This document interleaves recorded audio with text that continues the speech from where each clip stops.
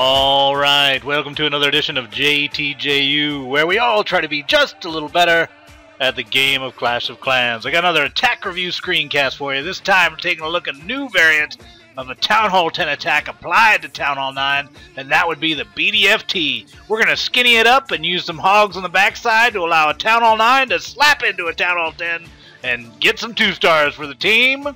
But before we take a look at how that actually goes down, Let's give out two high fives. One to our backup band, Fall Out Boy, with my songs Know What You Did in the Dark, and our Clasher from JTJ Agony, who actually pointed this attack out. So, high five! High five! Let's get to the attack. Alright, so here's the base at Agony when JTJ2 threw down against the Town Hall 10. You can see it's an entry level. It's got eye towers They're level 1. The X-Bows are kind of weak, mid level Town Hall 9 actually, and same story with the uh, Wiz Towers. They're kind of uh, max level Town Hall 8, so entry level Town Hall 9 Wiz Towers.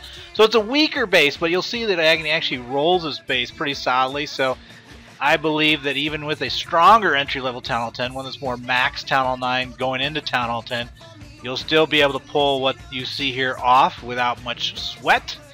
Um, one thing you want to be looking for though is the eye towers are on multi. Notice that and they're also clustered close together. So if you can path in your BDFT skinny group, the four golems, such that they're both at the same time in this range of both eye towers, saturating them, well, at least 80% saturation, uh, you're going to have a lot of success with this. So that's what we want to be looking for. We're going to give them a green.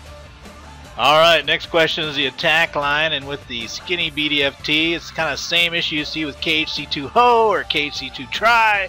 You want to get your Golem force onto the Queen, number one, and you want to get him also, new point, into between the two eye towers, similar to what we got called gut shot on the 105 Dragoon at Hall 8. We want to settle in those four golems right between the two eye towers so that they saturate 80% of the five threads that those guys can spit out.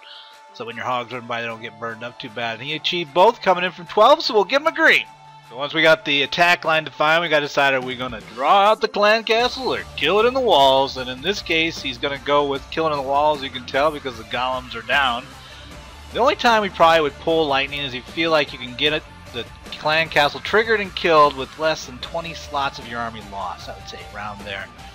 So we'll give him a green on this, but be careful. I say that because with BDFT style attacks, you got a lot of slots tied up in meat shield and not a lot of offensive firepower to deal with CC troops. So it's going to be a nail biter either way you do it. Next point is the Golem Whiz Cuts. You want to drop the Golems so they post up on defensive buildings that are about 8 to 10 tiles off of the attack point you want to go for. It looks pretty good here. He's going to attack. His attack line's 12. So you can see he's dropping around 1130 and 1230-ish. And it's about 8 or 10 tiles over.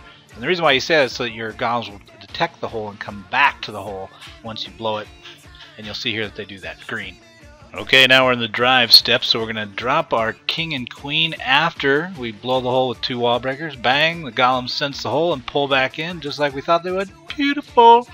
And also notice they pull, then separate. So the best place to blow the hole is where non-defensive building is, so that they spread away. This reduces the risk of uh, AoE splash damage hitting the golems and taking out wall breakers that then follow through your last two. So I'm going to give him a green on that. Alright, the next step is the hog deployment. In that case, we're waiting for the skinny BDFT and the KHC backers to get into the mid and do two things. One, take out the CC troops if they haven't done it already. So in this case, Agony will be dropping lightning. Nicely done, waiting for them to get into a clumped area. And then he drops them because at the same time the eye tower is fired up. So notice you want the hogs to be coming in as the eye towers are saturated fully in this case because the king is there as well as the four golems. So not one eye tower thread of fire lit up a hog. Green. And the last point is the heal placements. You want to use those as usual. Cast forward, beautifully done, on AoE defense risk areas, which could be the wizard towers, which is what he's hitting here, giant bomb placements, you know the deal. Standard hogging stuff. So green here as well. So let's just speed it up now because Agony has achieved his goal of 2 stars on Town Hall 10 as a Town Hall 9, which is awesome, and you can see he gets 99%. Just wow. Anyway, you can see why we felt that this attack is something to keep in mind, and we're going to put it on our one tree as a definite use if the multis are there for an entry-level Town Hall 10. But let me know if it doesn't work out for you, if it is, whatever. Give a post out on the forums or on YouTube, or give me a high five, whatever you want to do. Otherwise, good luck in your clan wars, and we'll talk to you soon. Don't touch that, Larry. Touch it, Larry. You know you want to.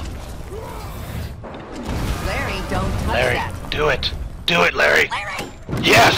And so Larry joined the ranks of JTJU, and his life was never the same. What'd I just say, Larry? Good job, Larry.